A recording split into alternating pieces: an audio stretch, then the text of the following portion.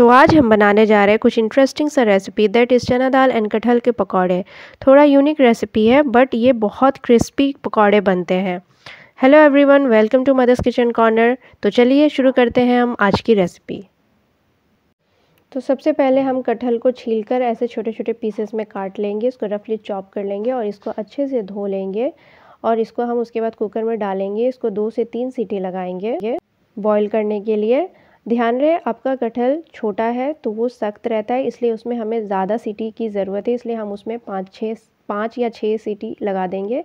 लेकिन मेरा ये जो कटहल है, ये मीडियम साइज़ का है, मीडियम साइज़ का हमने इसमें वन फोर्थ पार्ट लिया है तो इसको हम दो से तीन सीटी लगाएँगे। तो इसमें हमने ऑयल डाला है थोड़ा सा क्योंकि वो कटहल में चिपचिपाहट रहता है ना तो उससे जो कुकर है, वो ख़राब नहीं होगा, उसमें चिपकेगा नहीं।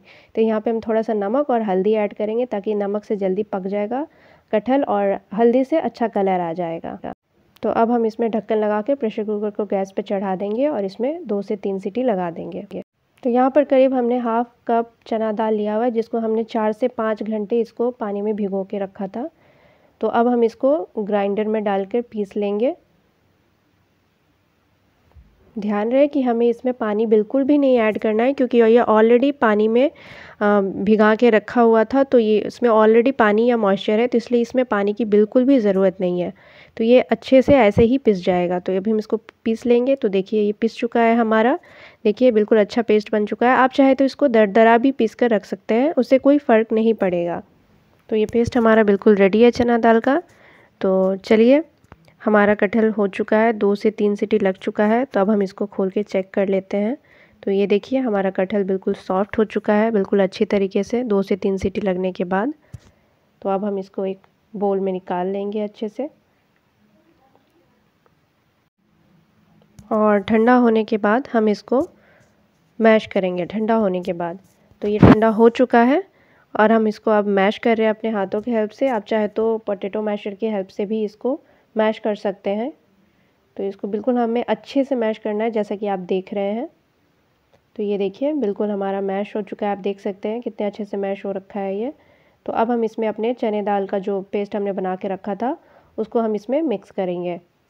ध्यान रहे कि चना दाल और जो कटहल है दोनों का सेम क्वांटिटी होना चाहिए, तभी जाके हमारा पकौड़ा जो है अच्छा और क्रिस्पी बनेगा। अब हम यहाँ पे नमक ऐड करेंगे स्वाद अनुसार। थोड़ा सा हल्दी पाउडर, करीब हाफ़ टी स्पून ध्यान रहे कि हमें इसमें पानी बिल्कुल भी ऐड नहीं करना है, क्योंकि चना दाल में भी ऑलरेडी पानी है और कटहल में भी है तो इसमें हमें पानी की ज़रूरत ही नहीं है बिल्कुल भी। यहाँ पे हमने ऐड किया बारीक कटा हुआ हरी मिर्च, चार से पाँच। यहाँ पे हाफ़ हाफ़ इंच अदरक है, बारीक कटा हुआ, और चार से पाँच कली लहसुन का बारीक कटा हुआ। यहाँ पे दो प्याज हमने ऐड किया हुआ है, कटा कटा हुआ, और थोड़ा सा धनिया पत्ता।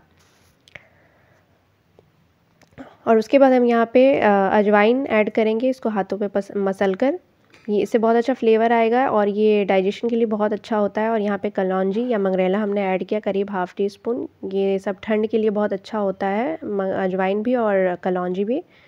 तो अब हम इन सबको अच्छे से मिक्स कर लेंगे और ध्यान रहे कि इसमें हमको पानी बिल्कुल भी नहीं ऐड करना है। तो देखिए, बिना पानी ऐड किए ये बिल्कुल बन चुका है, रेडी है हमारा पकौड़ा के लिए।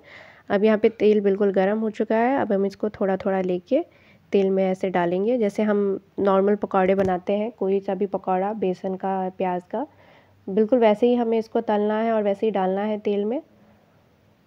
धीरे धीरे वन बाय वन डालेंगे।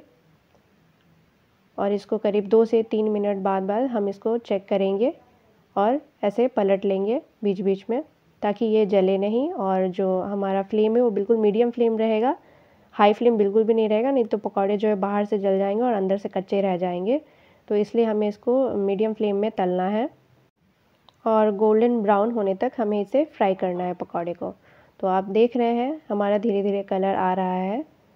तो ऐसे ही हम पलटते पलटते इसका अच्छे से फ्राई करेंगे। तो आप देख सकते हैं, अब ये पकौड़ा हमारा करीब पाँच पाँच या सात मिनट में हो जाता है अच्छे से तो करीब हो चुका है पाँच मिनट। हमारा पकौड़ा बिल्कुल रेडी है।